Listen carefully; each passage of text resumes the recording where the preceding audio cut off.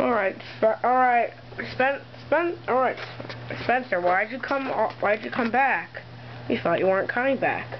Um, just wanted to, uh, one more time. Taser. Ah, ah, ah! just feel Okay, another reason is, I need to find Diesel, now. We have no idea where he is. Yeah. I find Diesel, I'm going to melt him and kill him. We really do have no idea. He must be somewhere down an old track or something. Alright.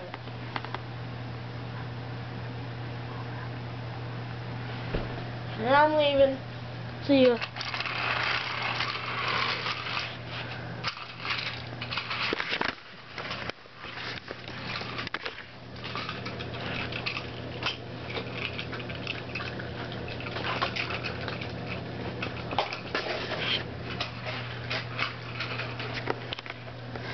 Well, what should we do, hero?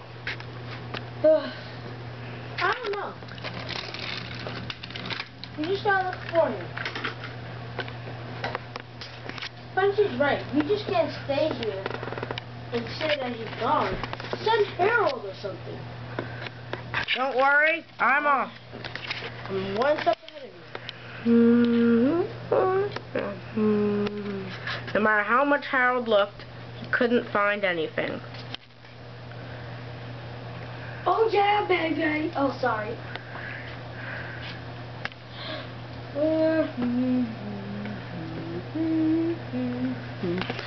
Alright, couldn't find nothing.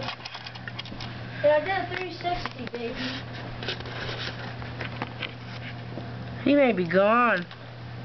They might have lost him. Well, I don't, I can't see the tunnels.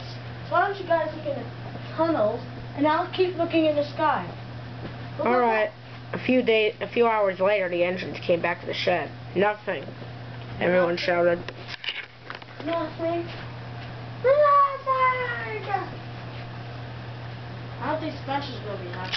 Later that next day, Hero was puffing down the track when he saw diesel oil on the on the rails. This made him concerned.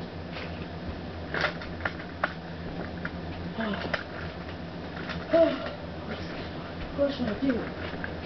I better call some backup. Sassy Ash needs some backup. And Spencer. I'm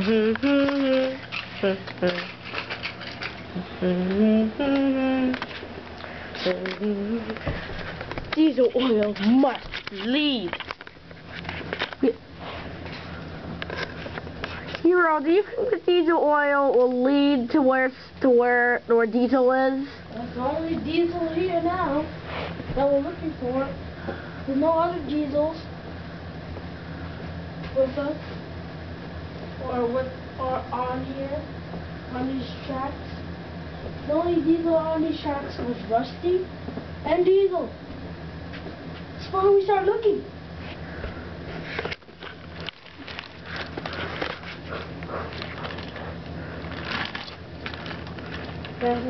Catch up, boys. Yeah, move. To be continued.